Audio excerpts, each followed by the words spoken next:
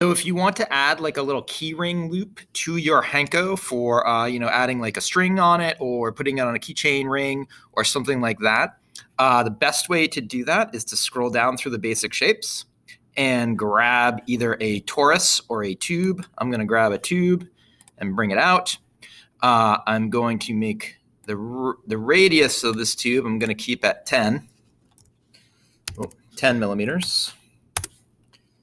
And, but I'm going to make the wall thickness a little thicker. So I'm going to make it uh, four millimeters thick.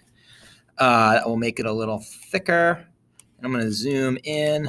I'm also going to make the height of it three, just like the bottom of the other one. And then I'm just going to kind of slide it in to that. You can see how I have them sort of in there.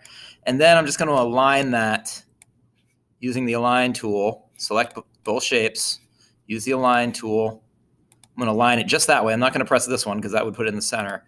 And then I think I'm going to make this ring just a little bit smaller. So, oh yeah, it's 20 by 20. It should be 10 by 10. So I'm going to do 10 by 10. There we go.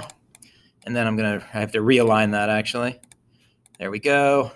And so that will make a good little ring uh, to either put it on a keychain ring or um, put like a piece of string or something on it that or a, a loop, some a little piece of rope or something. And then I'm just going to select all that and group it. And that adds like a little loop to the top of your Hanko.